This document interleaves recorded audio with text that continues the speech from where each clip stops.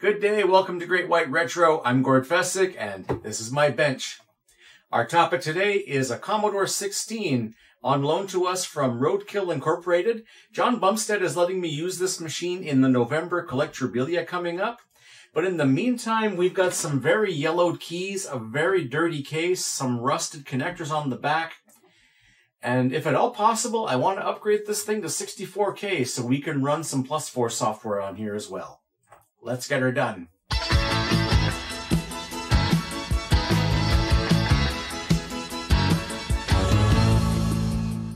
Look at this keyboard here. It was missing the 7 key when I borrowed it from John, but I was able to get this from a reseller over in Hungary, almost the same place where I got the spare 128 keyboard. The one thing that bothered me on this go in this guy is not only the disgusting shape of this case, but yeah, that cartridge port is a bit rusted on the inside. That RF port, I'm not even going to bother with. If I could get away with removing the RF modulator, I would, but I don't think I'm going to.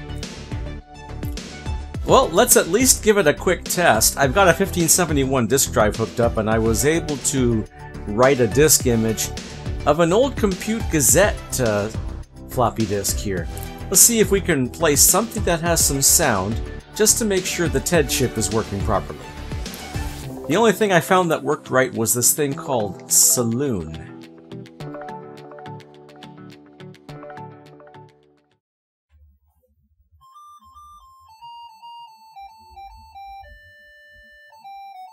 Oh, at least we got noise.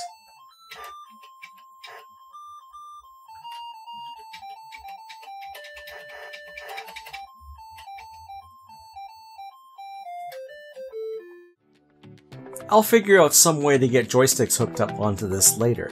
In the meantime, let's get this case apart. You can see that at least two of the three outer case screws are rusted.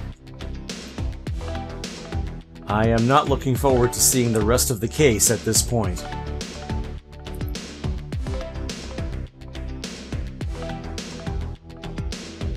There we go. Yeah, the corners of the RF shield are rusted. the screws holding the RF shield and board in, the, in place are rusted.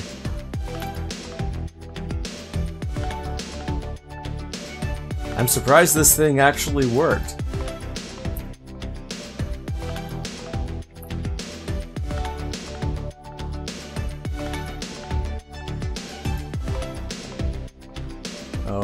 And with the RF shield removed, let's take a quick look. In the center top is the CPU, just below that is the TED chip, and to the left were some ROMs, and the rest are the RAM and some glue logic. Underneath, we've got that RF shield that's really rusted, and the RF output connector is also rusted. Fortunately, the I.O. is not rusted and it's working. That uh, case shield, however, yeah, we're going to have some fun with that.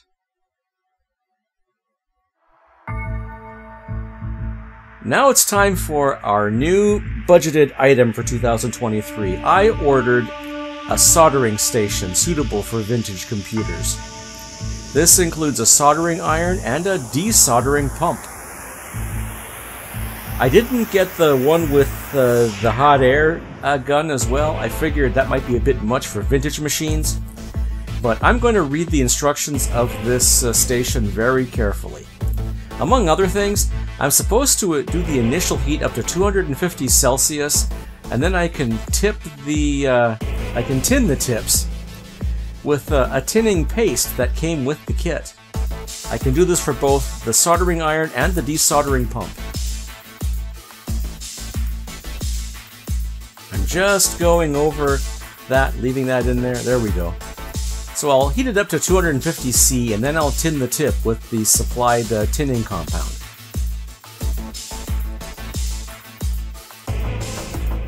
While the thing was warming up, I've got uh, to take this thing apart. Let's get those case screws into a container so that we don't lose them. The case screws are rusted, and we'll show you one up close in just a bit. Here it comes. Yeah, look at that. One of these days I'm going to get my iPhone focus working right. The C16 comes apart much like a VIC-20. There are hinges on the back, and then the case screws are all three on the front there. The keyboard is not compatible with the VIC-20, so don't try to use a VIC-20 keyboard in here. Let's get that horrible RF shield off of there. Let's get that side panel off of there so that we can remove the bottom part of the RF shield. We're going to need to desolder uh, those clamps on the bottom and on the top of the main board. I'm using added flux on my desoldering braid just like I did with the VIC-20 and I'm not going to show you the struggle but I did get this board free from the RF shield. The cardboard separator looks like it's in pretty good shape too. Next comes the uh, cartridge shield. Again, I got some added flux on there to help uh, wick up the solder. And here I am trying to pry the cartridge shield off of the main board. I got some of it off as you could see. Here I am getting a third leg out of there. In fact, there's my screwdriver not cooperating with me. I do eventually get this uh, shield free. A little bit of heat, and there it goes. Next comes uh, the RF modulator. I need to desolder an 8-pin connector and three shield points. I get those with uh, the solder, the desoldering pump. I ended up clogging the desoldering pump, so I had to change the tip, but then I learned how to clean the tip regularly, and I was able to use the desoldering pump much more effectively later on.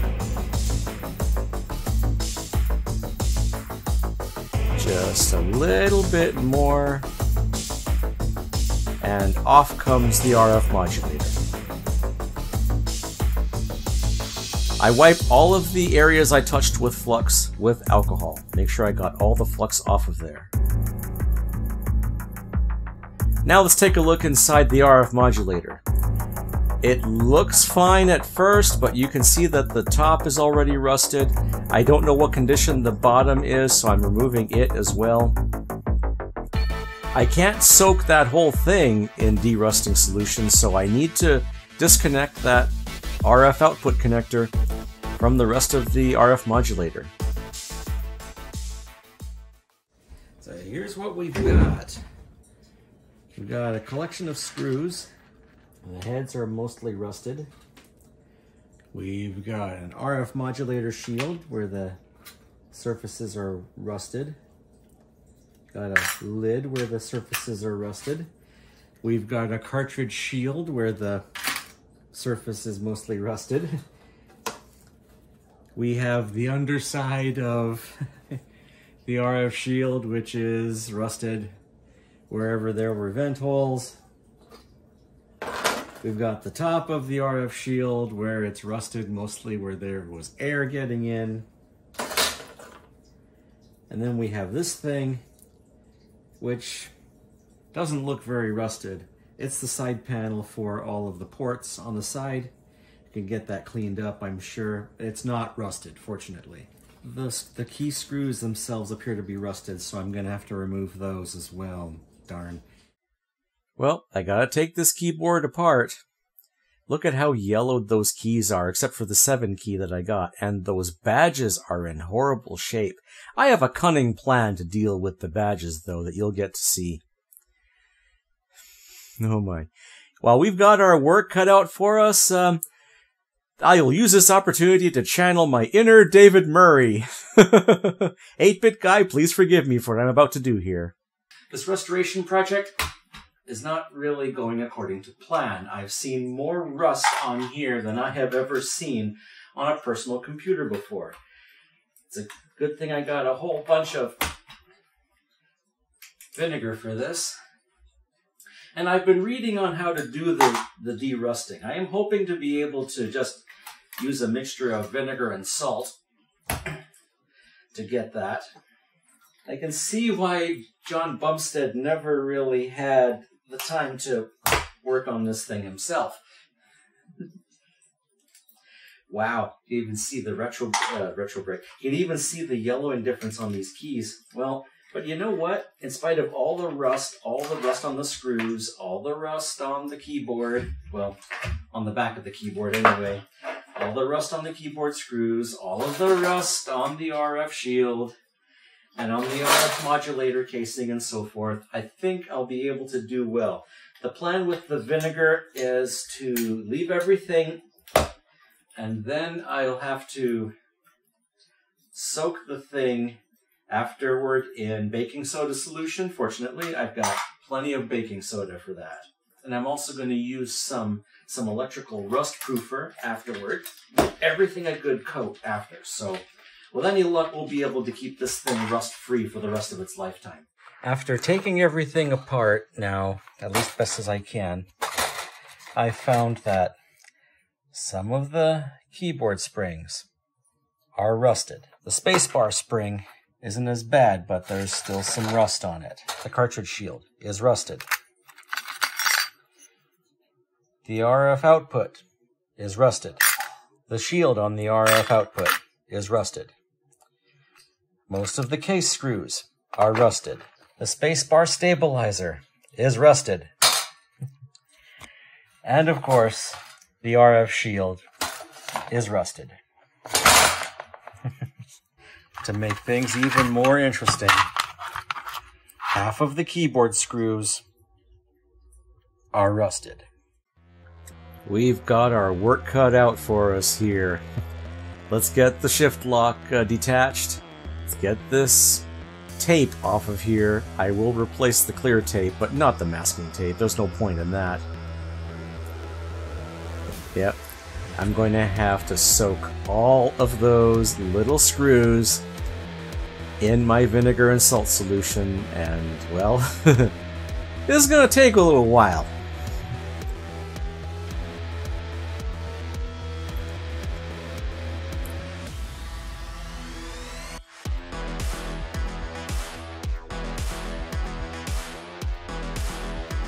Okay, yeah, okay. This uh, keyboard uh, circuit board is much like the one from the VIC-20, but they're using carbon-covered uh, contacts this time. Now for the derusting. Let's add some salt to this container here. I do have the keyboard spraying somewhere else, so don't worry, I haven't mixed them up. Let's get our vinegar in there. There we are. Mmm, salt and vinegar, yum yum. I don't expect the springs to take very long to derust, because they're okay, kind of. Those screw heads are going to be a problem. But we'll keep that sealed. Don't worry, that container is not airtight, so any gases are going to get out and it's not going to explode on me. Here comes the big uh, trouble. Let's get plenty of salt in there. Look at that.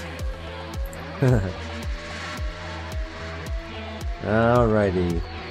I ended up soaking this thing in vinegar for two days. We'll see the result after day one. I will loosen the lid once I get this thing in place, don't worry. Shortly after, the next day, I took all of the springs out of the vinegar and salt solution. I put them in a baking soda solution to stop the chemical reaction. Right, that way we don't uh, deteriorate the springs any. Springs are in pretty good shape, even if they're darkened a little bit by the solution. Okay, not bad, not bad at all. Okay.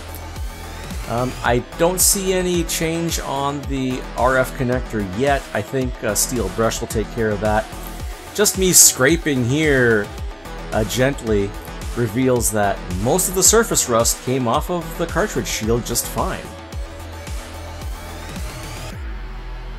Okay, and we'll put everything else in there to let it uh, finish derusting. Next comes the big one. Oh boy, here's the horrible RF shield. There's the keyboard spring. We'll get that out of there because it doesn't need to be in there anymore. That's the spacebar spring. Alright, so trying to avoid contact as much as I can, I take uh, steel brush to these horrible, horrible spots in an attempt to get the worst of it off. There's no way this is coming off on day one. I try to work the edges though as well. Some of the parts of the shield are pretty fragile, notably in the corners where they've bent uh, some of those uh, screw holes away so it sits flush. There's the spacebar stabilizer, that's in pretty rough shape, but a little bit of wire brushing will help with that. And there we are. That's not bad, it could be better though, so I'll put it, it back in there for another full day. Here comes the cartridge shield. It uh, came out much better. A little bit of wire brush action and the surface rust came off of there. Unfortunately, I lost the label off of there, but I'm pretty sure John won't mind the lack of the quality assurance labels. There we go. And after a bit of scrubbing, we were able to get the rust off of the RF uh, modulator connector there. Pretty good there. So after letting them soak in baking soda, I am now using this. This was suggested by the local hardware store to uh, to coat our rust our derusted uh, things so they don't rust right away. I'm gonna have to find a more permanent solution. I'm experimenting with nickel plating. We'll see if we can do that, but this will do for now. I am using my wire brush on these screw heads one at a time. It is helping. As I scrub them off, I'll put them in the baking soda. There we go. One by one, they all get done, including all the tiny little keyboard uh, screws.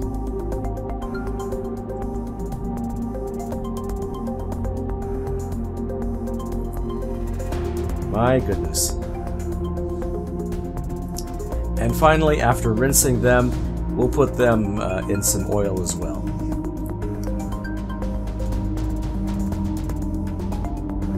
Get the keyboard springs, also get some oil on them. I will wipe them down before I reinstall them. Okay, so we're not there yet, but we've got lots of progress here. Uh, the spacebar stabilizer is in pretty good shape, but um, it still needs a bit of work yet. The corners have got some corrosion still on them here. The top half of the RF shield looks pretty good where it's mostly stuck, whereas where I couldn't get at it with the brush in these corners here, there's some corrosion here. But where there used to be corrosion, there's now these dark spots. It looks awful, but I can feel that there's no bumps. So that tells me that the rust is gone. Top side, you can even see a color change here, right? This is, I haven't soaked this in baking soda yet because I'm going to put this back in the acid bath. And that's because the other half of the RF shield is still in terrible shape. The edges, yeah, I can still feel corrosion here and here and here. But of course, the underside is awful yet. Look at this. And this is after some significant scrubbing. So I'm going to attempt some mechanical removal on here with a scraper, before, and then I'm going to put this back into the acid bath, and we'll see what happens. So, day two. I think it's ready, so I get my baking soda solution ready to go. That container ended up being too small to put the RF shield pieces in.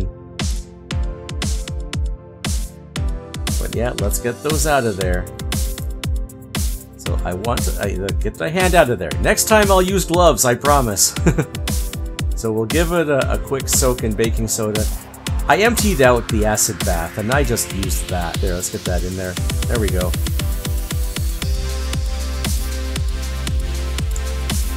There, that will stop the acid reaction and hopefully stop it from flash rusting on me. I'm able to get into the corners with my wire brush, and so the top half of the RF shield was now virtually rust-free. I'll take that. A little bit of scraping here to get the worst of the rust off of here, followed by a wire brush. And, well, this looks much better. I might revisit this uh, with uh, some electrolysis kit that I prepared. We'll see. In the meantime, I'm getting most of the rust off of there, and we'll go over the spacebar stabilizer one more time. Okay, so you know what? I'll take that for right now. Yeah, this'll have to do for right now. And then I'll coat these in liquid wrench, again, to act as a, a rust proofer for now.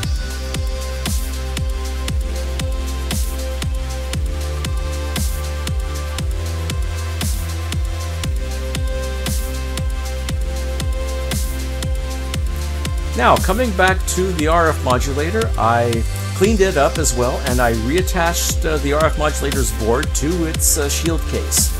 You can see that uh, RF connector is in much better shape. I also had to use some DeoxIT on the toggle switch. There we are. So, not bad. It could have been a whole lot worse. Well, let's get it reinstalled into the board. The Composite and S-Video are not going to work without the RF uh, modulator installed because it has pass-through circuits, so we'll have to reinstall it. If I had my way, I would remove this dumb thing, but uh, we'll just have to live with it for right now. It's not my property to destroy like that, so I'll restore the RF connector and the, and the RF modulator, right? But it is not needed.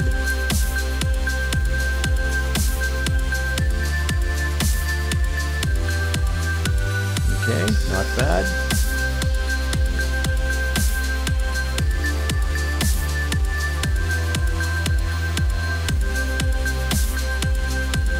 Let's uh, do a quick test before we put the cartridge shield on there. Alright, there's one of our RCA or S-Video cables.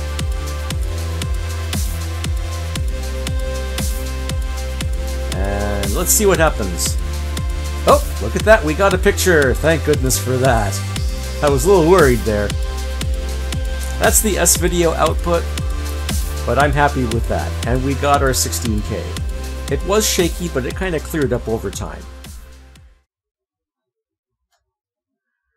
Let's see if we can get it to work on any of these. Oh.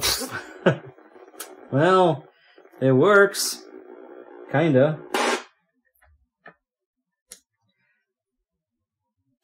Let's try channel 4 instead. Yeah. This old TV is just not the greatest. But I care so little for RF modulation, I really don't give a damn. okay, well, yeah, definitely want my composite video over this. And my S-video. Well, let's get the cartridge shield back on there. That was a lot less of a headache than the, than the RF modulator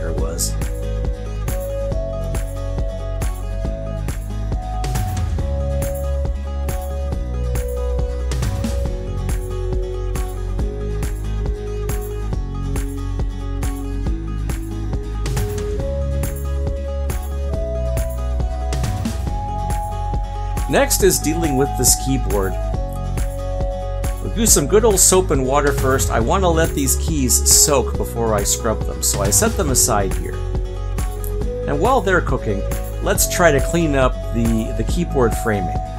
That just needed some soap and water to deal with, nothing crazy here. Now it's time for the case. Well, the condition of this computer is no longer unknown, so that goes away.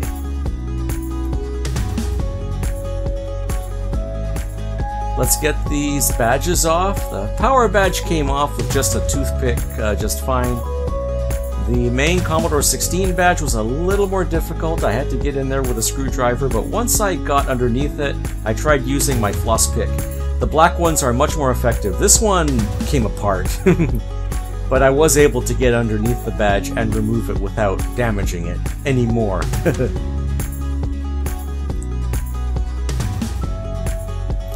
Now, a good scrub and good old soap and water for this case. There are little white spots all over, as though a paint gun caught it. So, after I get these with some soap and water, I'll take some baking soda to it to clean up those little white spots. Next comes uh, the serial number badge on the back. I will remove that and I'll tape it back on there once it's all done and I'll clean all that up. So yeah, you can see some of the little white spots here. Usually I'm worried about black spots on a beige case, but it's kind of backwards here. Now, with the keys. We let these keys soak in soapy water for a while, now we can wipe them all off one at a time. We'll set the 7 key aside because it does not need retrobrighting. The others, however, do. So we'll use the 7 key as a control for this. Okay, we'll scrub it all off. Then we'll give everything there a good rinse off here. There we go. Shake, shake, shake. And using the strainer here. There we go.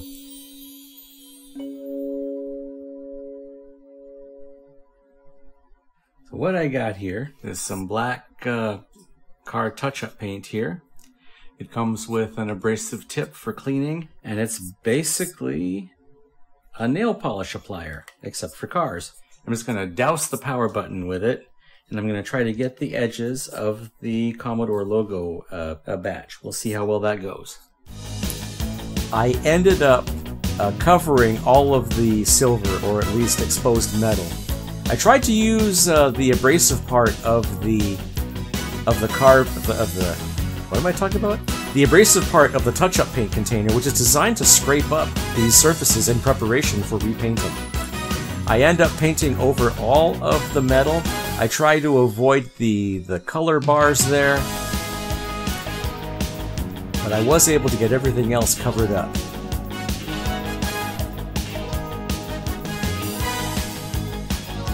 This actually has two parts. There's a kind of a, a fountain pen part, and then there is a brush part.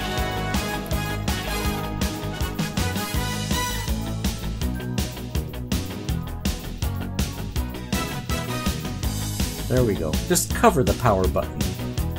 There we are.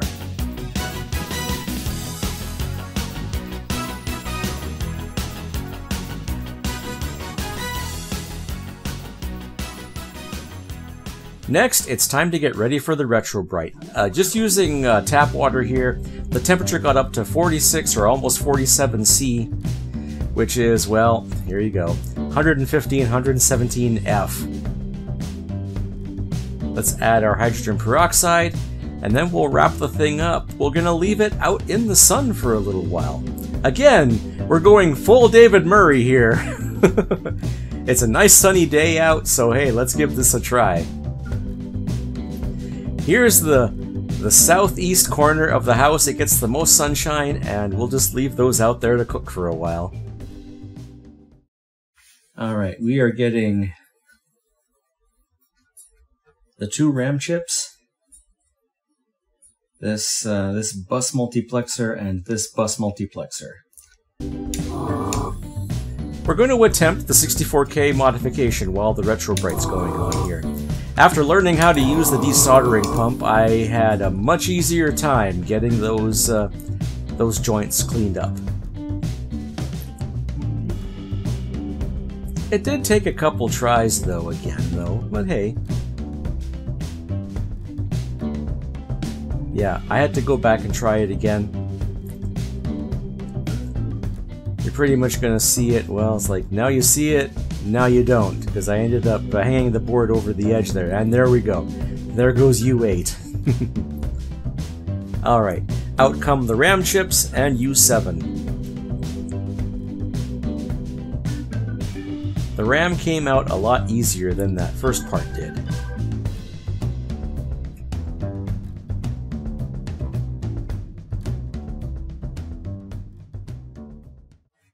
Understanding is I need to cut two lines.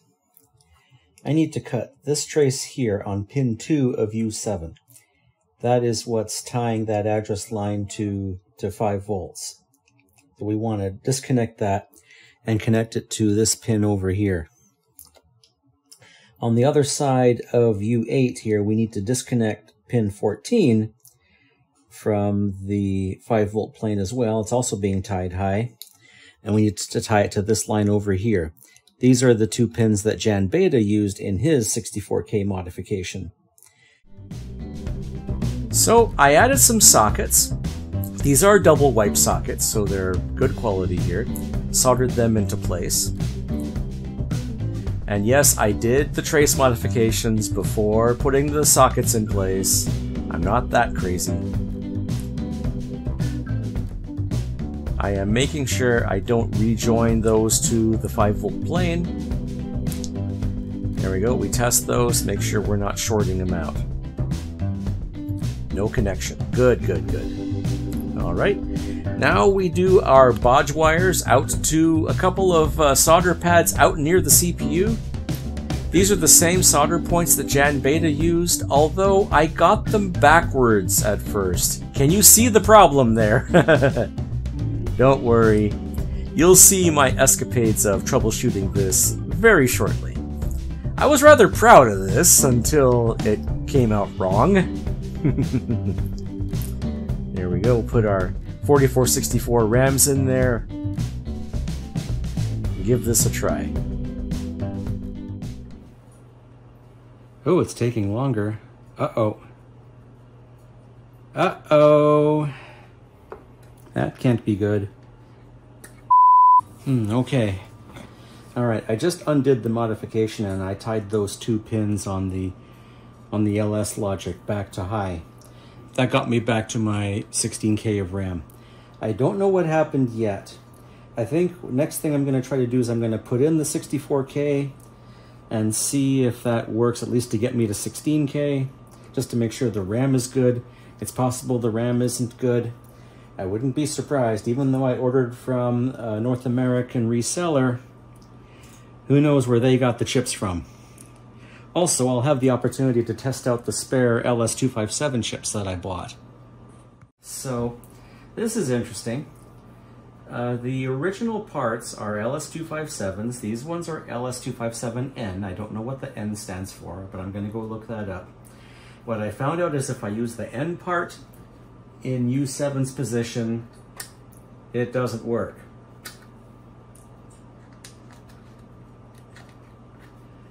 If I put an original part in there,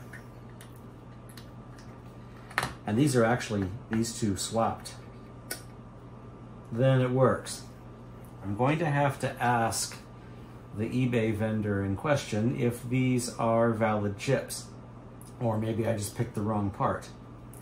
But at the same time, I've got 4464 RAMs in here, so at least I know that the lower 16K is working.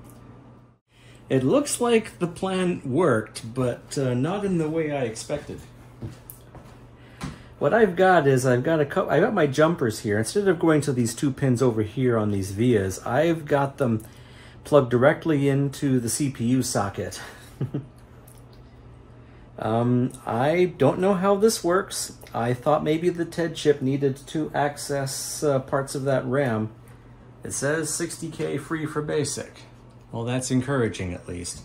Now I just gotta find a better way to run these lines. Okay, after determining how cheesy that fix was, I went and reconnected the bottom pieces, and it turned out I did get the two vias reversed. Yeah, I'm sorry about that. So, Jan Beta's original modification works, and it was with uh, the other person's uh, checks that I was able to figure out which pin belonged to which address line off the CPU. So we should have it this time.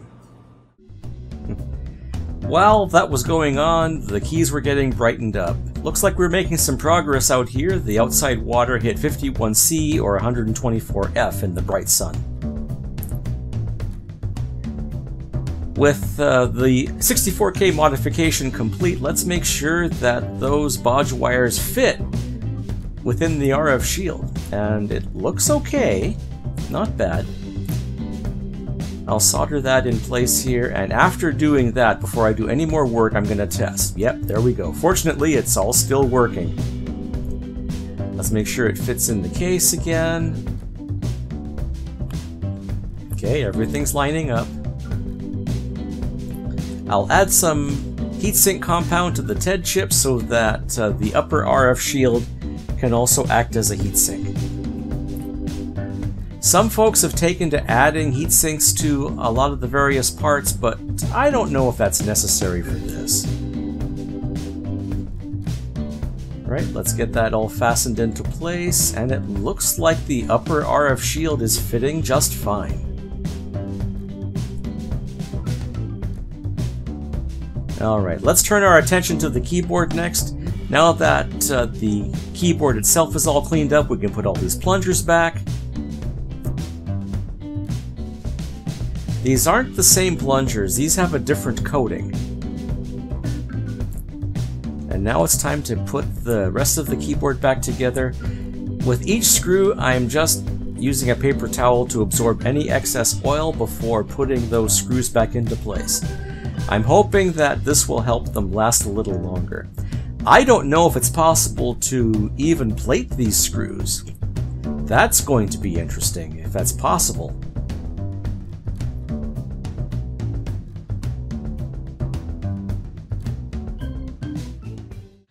So while I was waiting for the Retro Bright, I decided to take the eraser tip of this of this detailing of the touch-up paint.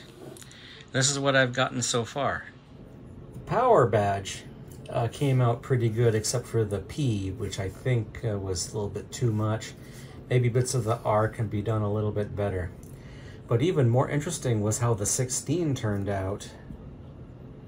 16 turned out really well. I just have a bit of a dip there. I could probably scratch off of there with a sharp blade or something. Now I've just got the whole rest of Commodore's logo to rub off.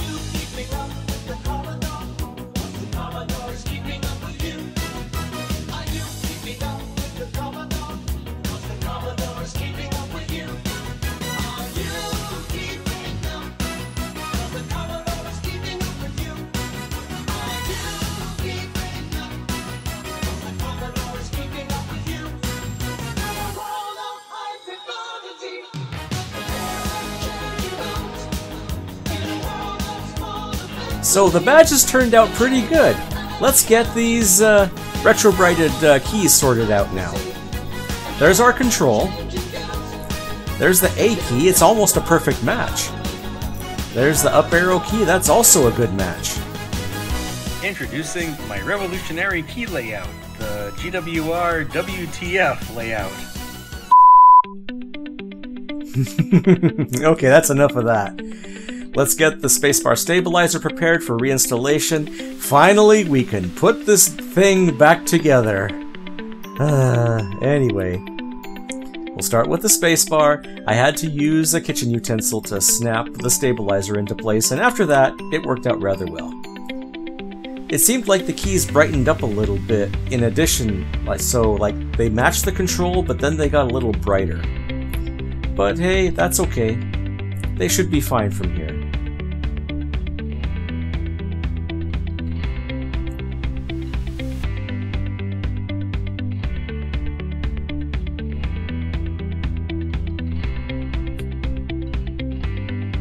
I'm also wiping off the springs before I install them, making sure they're separated out and making sure that they have their excess oil removed. So there shouldn't be any oil dripping into the keyboard.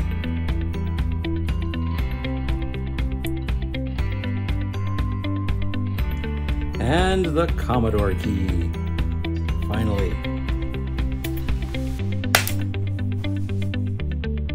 And with that out of the way, let's get this thing reassembled. Starting, of course, with the keyboard and all of those formerly horrible screws that are now, if they're not, they're at least not rusted anymore. They're still a little rough, but I don't know how to fix that. I don't know how to regalvanize or replate these screws. That might be a challenge. Eh, we'll see. Anyway, let's put some fresh clear tape on there. I'm not, I don't know what the masking tape was for, my goodness, but at least the clear tape makes a little sense.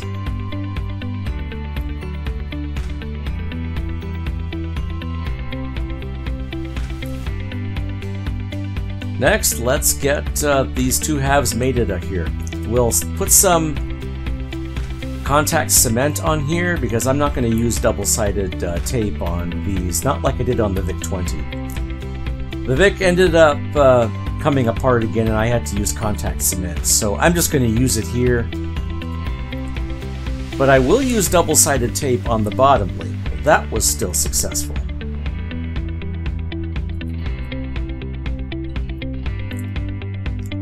There we go. Series 264, Model 16. There we are. I guess it is a 264 now, isn't it? Anyway, let's uh, get those two, let's get the badges on there. Get the two badges on there. The power one went on there without any hitches. once the contact cement had enough time to air out, it fastened without any problems. Good luck getting those badges off now. I did finally receive my nylon replacement badges, but it was just the day after I finished this, and I felt proud of this, so I kept these badges on there. There we go. Now let's get that power LED. I learned from the VIC-20 last time where you put the black ring in there first, you push the LED up from the bottom, and it's a little pressure thing afterward. And there we go. There's the power LED back in place. And now we can close these two halves up.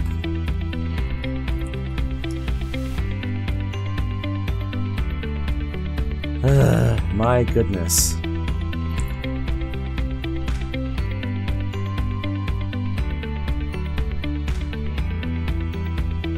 Hopefully we won't have to open this thing ever again.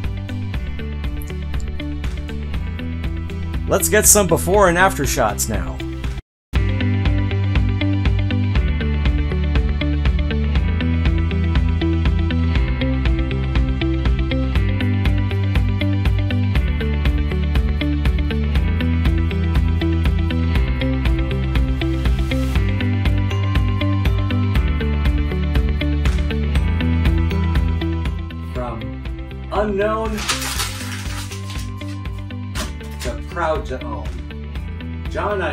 Appreciate the work put into this thing. And if you ever let this deteriorate into the state I found it, I will find you. In all seriousness, on the next episode, we'll put this Commodore 264 basically now uh, through its paces. We'll get uh, some 64K software running on here, and we'll see what we can do with this on the next episode. Until then, good day.